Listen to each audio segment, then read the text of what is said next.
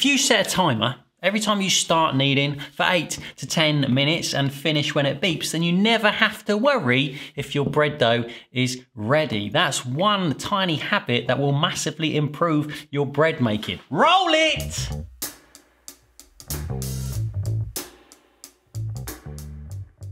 Hey home bakers, often it's the small things that make a big difference in bread making. That is literally why this channel exists. If you get into the habit of doing these few things, each and every time you bake, you'll be laughing all the way to a homemade sandwich.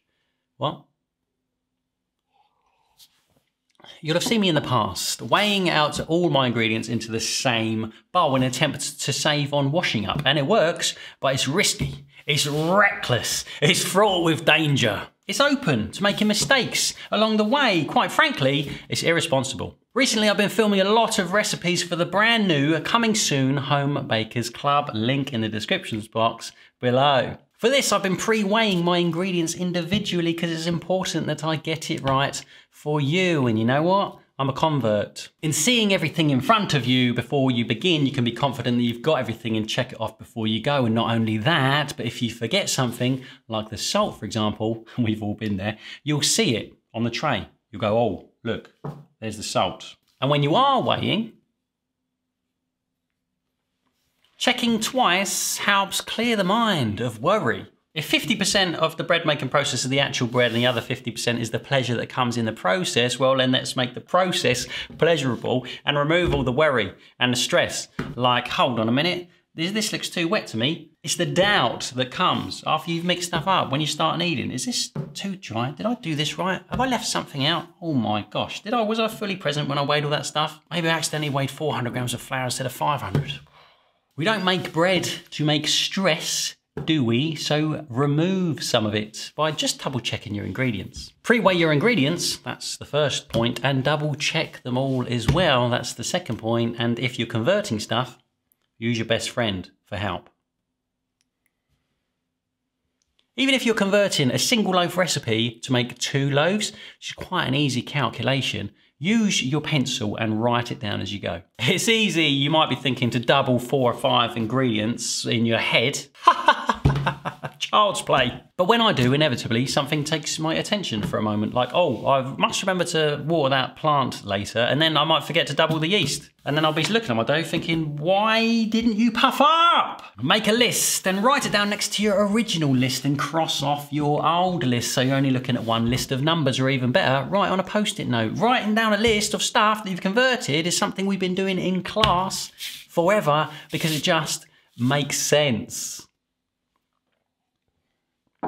We've mentioned this already, and setting a timer for your kneading works in your favour on many, many levels. Firstly, they help you know how long you've been kneading for and how long's left, and that might sound so obvious, but without one, you might get to the four minute mark and go, oh yeah, that feels all right. I've probably done about eight minutes by now, haven't I? I, in these moments, easily overestimate my ability to exactly time eight minutes in my head. Especially when I'm in those moments where kneading feels like a chore, where I've got hundreds of other things to do that day, and I'll just be like, you know what, that's enough. It's probably eight minutes, let's move on. And then my bread dough won't puff properly, and I wonder why. Also, going by feel comes at a cost, especially for beginners. Knead until words like soft, springy, smooth, elastic dough is always written into bread recipes apart from mine. So then you are left uh, with your own instincts trying to judge the readiness of your bread dough with nothing to go by. All these words are subjective, but you know what isn't subjective? Knead your dough for eight minutes. That's not as subjective, is it? Settle any worries that may come from trusting your own judgment, especially if you're a beginner, and just set a timer when you're kneading.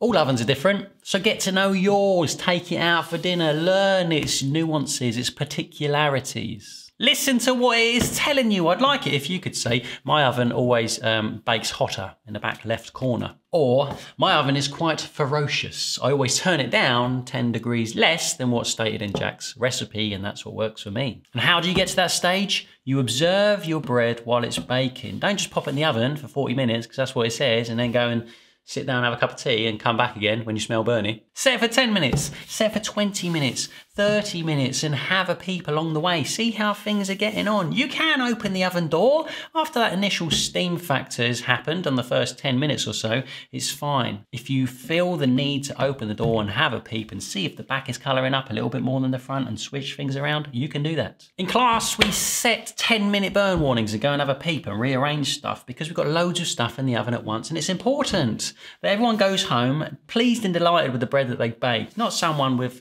one that's scorched on the edge and another one looks soft and pasty. You know, observe your bread while it's baking. You'd have heard me say this hundreds of times by now, so skip it if you've already heard it, but it's really, really important that we do not dust your dough while you're kneading. Knead your dough with zero flour, period. Or if you're in the UK, full stop. Doesn't have the same ring to it, does it? When I'm asked when people are passing me in the street, oh, you're the bread guy, aren't you?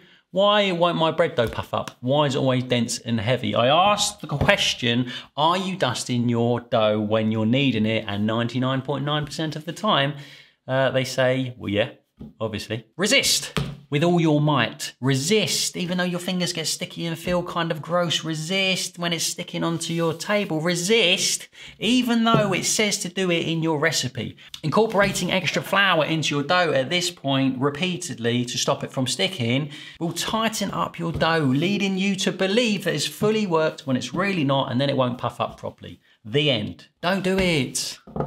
Please get yourself a dough scraper from bakewithjack.co.uk. They're only a couple of quid and that will give you the ability to knead with zero flour, instead using your scraper to loosen your bread dough along the way. And you'll never reach for that flour pot ever again and your bread will thank you for it. I promise. Just try it just once.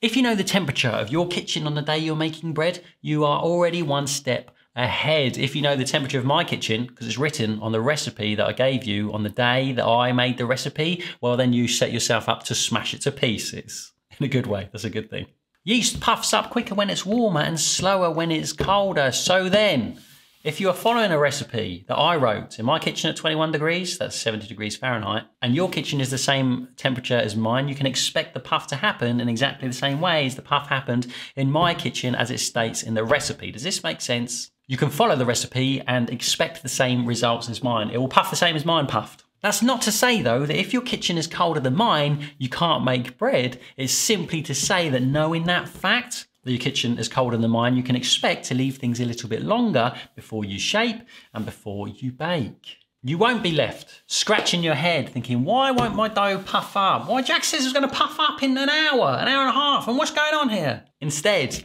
you can replace that feeling with, you know what? It's a little bit colder today. Maybe I've got time to pop to the shop quickly while my dough's puffing up, nice and slowly, and everything will be okay. Knowing the temperature removes the worry and helps you to understand what might go on in your bread dough today, giving you power and freedom instead. And that's pretty cool, isn't it? And the same goes for knowing your dough temperature too. If your dry ingredients are in your cupboard, well, then they are at room temperature, aren't they? Because they're already in the room. Flour, yeast, probably, if it's dry, and salt. That means the biggest contributor to your dough's temperature is the water that you put in. That's your doing. That's your power. Match the temperature of the water to temperature of your room, and you're laughing. Warm doughs dry out and cool over time, leading to the classic, my dough puffed up the first time but didn't puff up the second time scenario. Also, you get a big thick skin on top sometimes. Cold doughs take a while to adjust to room temperature and puff up, leading to the also classic, why isn't my dough puffing up? Is it dead? Did I do this wrong? Is my yeast expired? Scenario, uh, which is also undesirable. There are times where warm doughs and cold doughs have their uses for us as home bakers, but they come with their fair share of complications that have to be considered and compensated for. Sidestep those issues by getting some cold water from the tap, popping in enough warm water from your kettle to match your room temperature with a little thermometer, then move on with confidence and measure the actual quantity of the water that's already the correct temperature. Does that make sense? Here's a few more quick ones for you if you are still here. Um, we could go on all day with this, but here's a few. Quick fire round, let's go. Rest your dough on your kitchen side. Airing cupboards, proving drawers, warm places, all come with their fair share of risk. They might seem like a good idea at the time, but if the mission is to remove error, then just rest it on the kitchen side like I do. If your kitchen is 20, 21 degrees, well then that's okay. That's 68, 70 degrees Fahrenheit. If it's lower, like 16, 18, well that's all right too. It will just take a little bit longer, but it is by far the safest way, especially for beginners. Weigh your water on scales instead of eyeballing the quantity on the side of a jug. You'd be surprised just how inaccurate the measurements on the side of a jug are, and it's those inaccuracies at that point which can make a massive effect on the texture and consistency of your bread dough. Write down your observations as you go in a little book what the dough feels like. Is it too wet and tricky to handle? Stuff like that. And then you can adjust it for next time instead of relying on your memory, which never works for me. Write down how your bread was in the end. Did it taste nice? Did it burn in the oven? Did it go flat or rise up a nice shape? What might you change and tweak for next time round? Keep all this in a diary and now you're really learning. Is there anything else, anything you have adopted habitually to make things better, easier, more consistent for you? Something that helps you learn? Share it with us all. Share it with the world in the comments box underneath. It's a journey of learning and understanding and building those all important home baker's instincts, but don't forget along the way to enjoy it and have fun. Thank you to everybody for simply watching this video, for clicking buttons, because that really helps. Thanks to patrons for sticking by me all this time, supporting me in what I do. Thank you to Super Thanks Droppers. I hope this video has been helpful for you all. Don't forget, the Home Bakers Club is coming soon and go. Be free. Turn your phone off. Go make some bread. See ya.